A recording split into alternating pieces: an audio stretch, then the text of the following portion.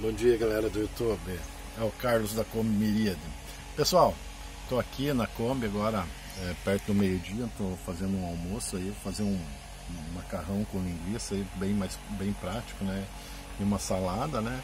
E estou aqui em Barra Velha, estou estacionado em frente a uma praça, uma praça bem tranquila, show de bola, já me informei com o pessoal aí, até no aplicativo do iOverland tem, tem indicação dessa praça. Hoje eu vou ficar por aqui, provavelmente vou, provavelmente com certeza vou dormir aqui, né? E eu vou dar uma parcial da praça para vocês verem, na onde é que a gente está, né? A Nuli está aqui descansando, né? E então vou fazer uma, uma parcial para vocês darem uma olhada ali como que é o lugar aqui, beleza? Olha aqui, ó. Então a Kombi Miríade está estacionada aqui na frente, ó, parcial ali. A Nuli está ali deitada, dando uma olhada no movimento, né?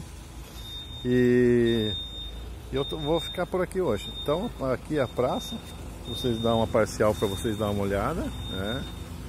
A praça bem, bem tranquila, assim, bem arborizada também.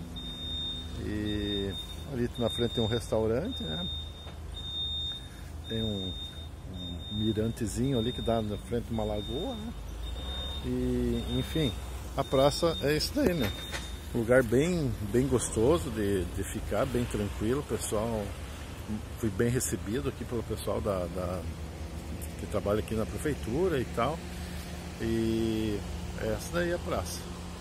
Valeu. Deixar para vocês um grande abraço aí e tal. Valeu, um abraço, fui.